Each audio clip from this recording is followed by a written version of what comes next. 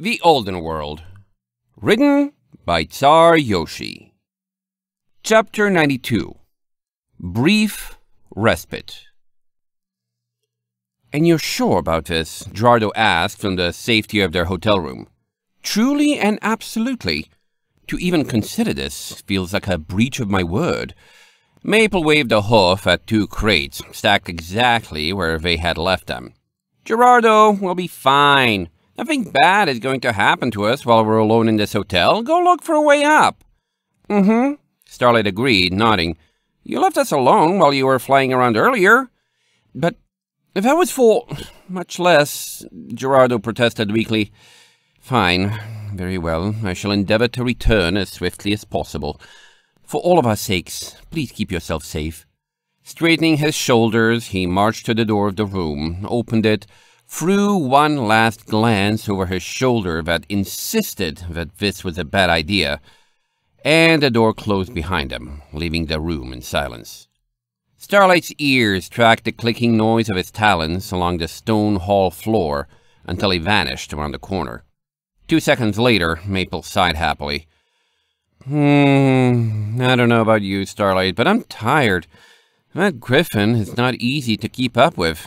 Thanks for pushing to get us a break there. You feel my way too, huh? Starlight probes, trying not to let her earlier worry show. Maple immediately moved toward the nearest bed and curled up, tapping a hoof in invitation. I don't know if I'm made for following him around this much. It's kind of exhausting. Accepting, Starlight climbed onto the bed beside her. She said nothing, less because she had nothing to say, and more because she had too much. What would be appropriate? Where should she start? Or should she at all, and merely enjoy the tranquility while it lasted? I can see why he and Amber were such good friends, Maple continued.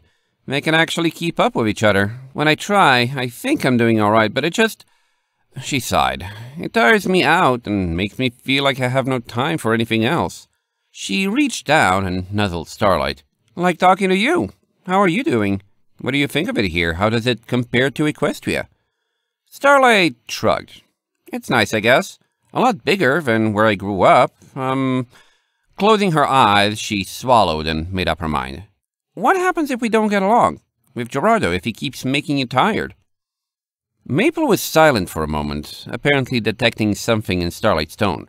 You were thinking about this before I said that, weren't you? The whole way back, Starlight admitted. Since the museum.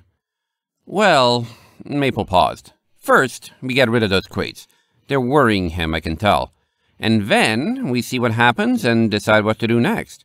If worst comes to worst, we can always find Gunga and ask him to take us back home. But I don't think things will go that far. She blinked. I know what I want, but what do you want, Starlight? I don't know, Starlight mumbled glumly. I just don't want things to change again. Well, we just went to Iron Ridge, which is a pretty big Change? Maple hesitated for a moment, and then her eyes widened and subsequently softened. Do you feel like he's been taking me away? Like I have less time for you? Like you're losing a friend? Y yes, Starlight sniffed. Maple was right. She couldn't make herself really think through the response, so she went with what came first. And what came first were tears. She buried her face in Maple's shoulder. Then, then I'm glad that I mean that much to you. Maple rested her head on top of Starlight's, brushing her cheek against Starlight's horn. But it's only been a day. Some days are bad days with good parts, and others are good days with bad parts. But I promise, I love you, and I will always find a way to make time. How much she meant... How much did Maple mean to her? Now that Starlight thought about it, it was a lot. Just like her tolerance of Gerardo had remained completely passive until she had noticed it, there in the museum. When had that happened? At first, Maple was someone she accepted because of a request, but now she felt like a friend, or maybe something more.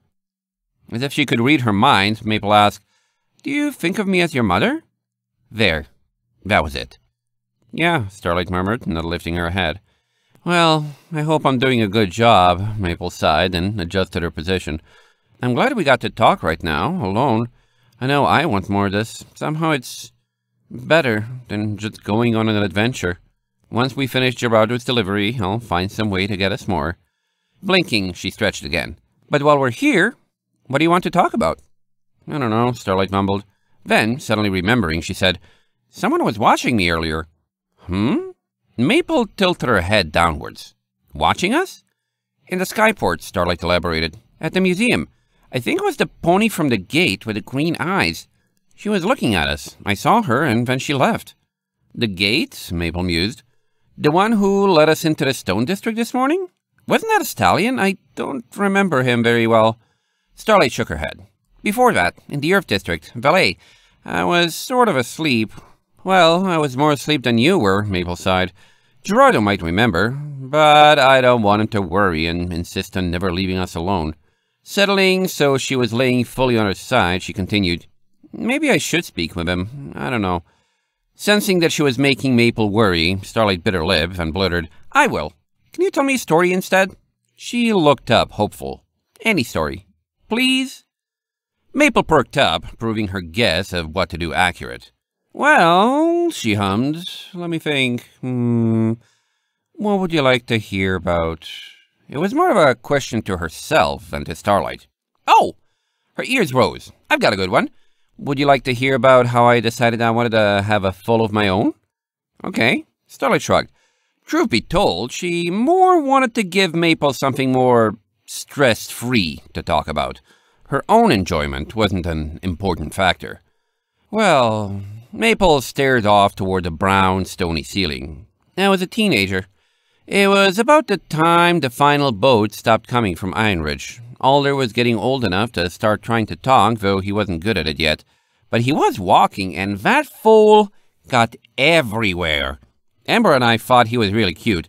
It might have been because we really wanted to see something good come from us not going to Ironridge, but that was more than two years ago at that point. It was mostly because he actually was that cute.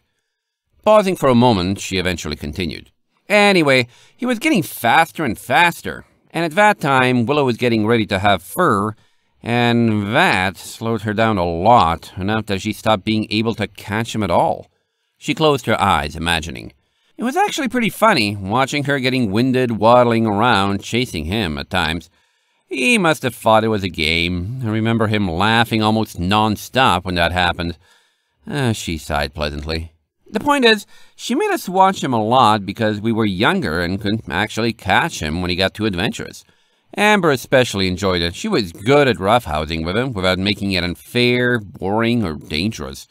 She knew how to tire him out so much even he would stop running around. But there was one night when she was occupied with something, I don't remember what, maybe she was sick or at a friend's house. Either way, I wound up watching him alone for a whole night, I sat up and played with him past his bedtime. I wanted him so tired he'd sleep the entire night through and let me wake up on my own terms. Maple glanced away, failing to hide the smile growing on her dusty brown muzzle. But when I woke up the next morning, he had somehow climbed out of his crib, made it all the way into my bed, and was tucked against me, snoring his little head off.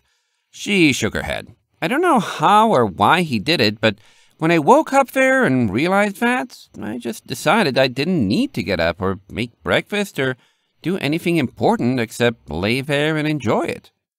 Ah, Starlight interrupted, sensing the story was nearly done. Is that why you're so cuddly? Maple snorted and blushed. Is that a problem? No, Starlight shook her head. It makes it easy to make you happy. And what about what makes you happy? Maple looked concernedly at her. Starlight blinked, that was the response she realized she'd given, or at least thought, when she had first noticed the trend in Riverfall. How much thought had she given it since then? None at all, actually. It wasn't something she even noticed happening for the most part, just part of her new normal. But what was wrong with doing something you didn't mind for someone else's benefit? And riding on Maple's back during travel was an act she did almost by instinct. Besides, it was good for warming up if she was cold.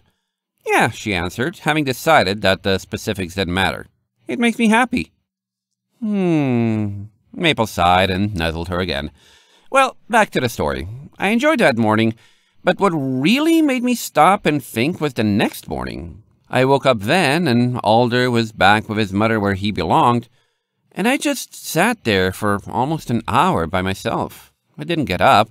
I just sat and thought about how nice it would be to start every day that way with someone by my side like that and enjoy the company. And so, I started wanting a foal of my own. Starlight's brow furrowed. She knew what she was about to ask was risky, but decided to go for it anyway. Isn't that what getting married is for? Huh? Maple tilted her head in confusion. Hmm, they are always there, I guess. It does happen sometimes. That actually sounds kind of nice. A wistful smile spread across her features as she imagined and then slowly turned sad. Is that how it is in Equestria? I don't know, Starlight shrugged. I didn't care much about my parents there. They enjoyed being around each other, I guess, but I think that's supposed to be how it works. In Riverfall, it's... Maple stopped, swallowing. Well, not entirely. There are ponies who really, truly do enjoy being married. It's something you hope for, I guess. I hoped for it, but it isn't why we marry. In Riverfall, if you want foals, you can either have them yourself, like Willow's first two, or find someone who will stay with you. A husband, so that they all have the same father. She looked away. If you're friends with them, or something more, it's wonderful, but it's a bonus. It isn't why. Hanging her head, she finished, It's not something I try to think about anymore. Starlight was about to say something comforting and considering questioning Maple's viewpoint further when the door loudly banged open and Gerardo Guillaume stuck his head in. Good news, friends. I have located the nearest... He blinked, evidently seeing the looks that were being shot his way. His head crest drooped. Um, am I interrupting something? Yes, Maple answered coolly, seeming to instantly can her previous emotion. You are. Starlight and I were having a conversation which seems to be over now. Gerardo... She hauled herself to her hooves, stretching without taking her eyes off him.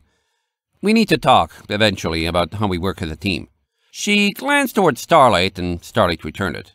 But it would be better first if we got your boxes taken care of. Did you say you found where to take them? Well, Gerardo began awkwardly, I found an entrance to the Defense Force fort from quite nearby, and upon friendly discussion, the posted guard seemed quite open to allowing us to traverse it for our purposes. The sun is setting, but we could easily complete the delivery before it is too late. Maple stirred upwards and sighed. I'm tired, but I suppose we should. Starlight, do you want to come? I doubt it will be very exciting, but... She comes, Gerardo cut her off, holding out a wing. I'm glad to see you both unharmed, but I have every intention of taking Ehrenby's warning seriously, even if I have recently been forced to break it. Now, I do believe it would be best to depart sooner rather than later, and as such... I know, Maple sighed again, moving to the corner and taking up a box. Let's get going then. End of chapter 92.